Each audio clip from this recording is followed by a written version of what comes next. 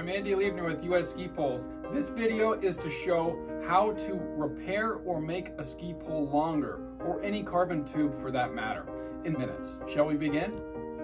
Before we begin putting the tubes together, we need to analyze what we have to make sure we've got all the parts and pieces that we need. So um, come a little closer and I can show you just the, the bare minimum of what you need to, to do this. You need some sandpaper, you need some pieces that you can either put on the inside or the outside of the tube. You need some glue and a heat gun or a heat source. We happen to have a lot of different size carbon tubes because we're a carbon tubing factory. And so it makes it easier for us to put this together because we have a lot of different diameters to work with. So as we start, the first thing we need to do is find the, the right diameters. So this is a little wobbly, as you can see. It's not the best um, fitting tube, and neither is it on this side. So what I'm gonna do is add the shim part, and if I take the shim and piggyback it on the smaller tube, and then now try to insert that in, it's a real tight fit. That's gonna make a real good fitting carbon tube. Now I want, I want also test the opposite tube that's gonna go together. So once that's heated up with glue, it's gonna be really solid. And that's what we're looking for. Before we add glue, we need to rough the top surface up. This pole is actually painted, so I need to rough up that top surface to give the glue some adherence points. So not only do I want to do the outside, but I want to sand the inside as well. I rolled up some sandpaper here and that gives it some points where it can grab. And I'll do the opposite to the receiving end.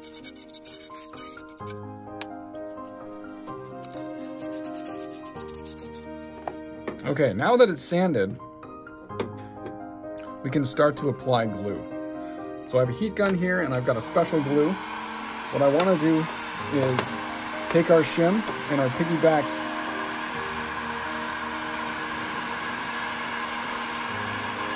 tube. And once the glue changes color, then the chemical formula has changed slightly to allow it to become a liquid.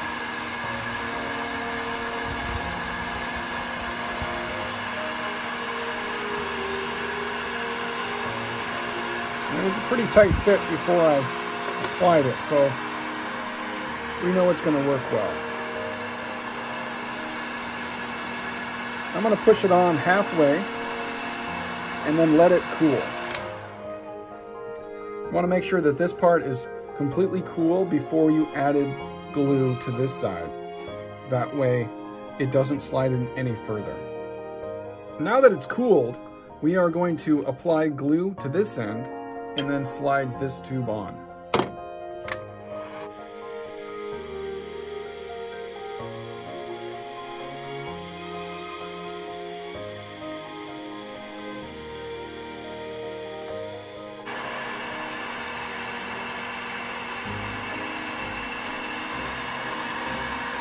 And I want to twist and rotate it so it gives it good coverage.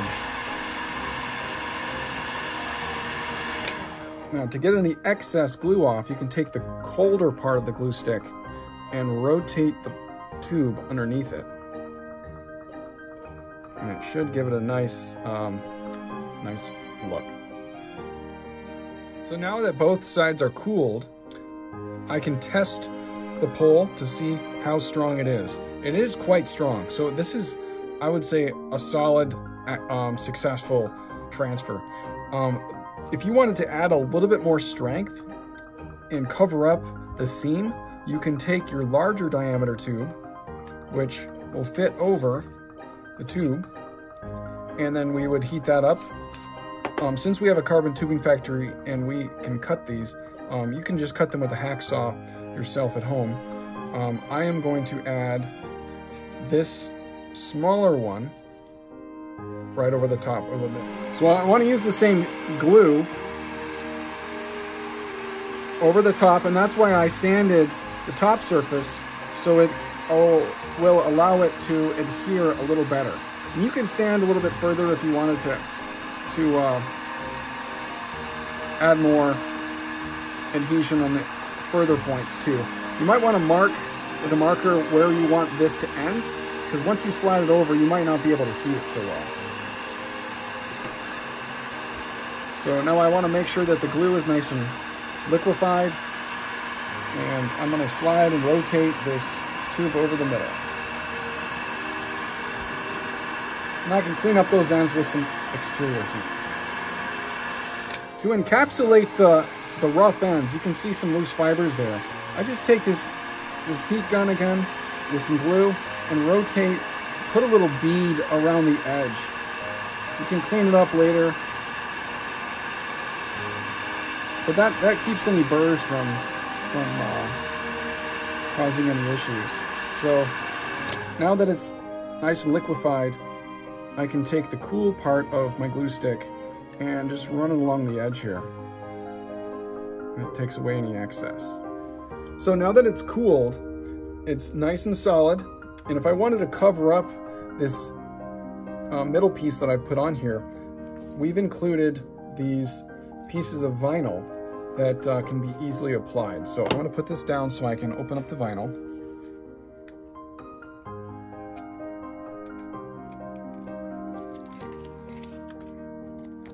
and it has it's a little bit longer than it needs to be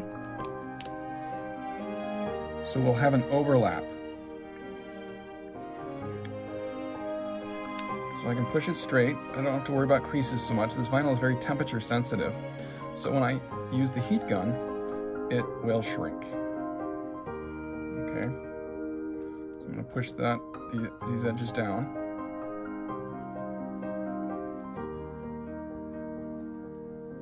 Okay, now I turn the heat gun on. Want to turn the heat gun down a little bit so I don't have as much heat. If you don't have a, a regular a regulator, then um, you can use a hair dryer to go further further away from your heat source.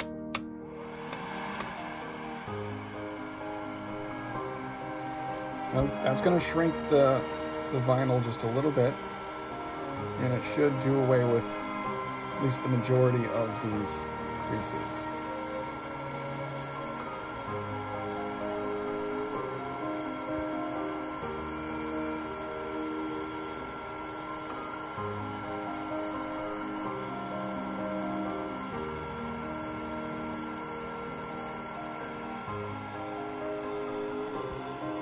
You can trim them down as you see fit. So there you have it, folks. Less than three minutes, and we can repair any size carbon tube up to two inch. Any ski pole of any brand, any diameter. So, if this is too troublesome, you can send us your poles or your, your parts, and we will repair it for our standard $40 per pole. Or you can buy one of our repair kits and do it yourself. Thanks for watching this video. Like our YouTube page. Thanks again. When you order a repair kit from our website, usskipoles.com, this is what you'll get. Um, this is the three piece. We also have a two piece. You'll get three different size diameter tubes and they're five inches long. You'll also get a shim. You can see it there. Um, there's a piece of sandpaper. There is some special glue that works specifically for carbon fiber. There's an instruction booklet and a five inch piece of vinyl if you wanted to wrap the vinyl around the pole afterwards.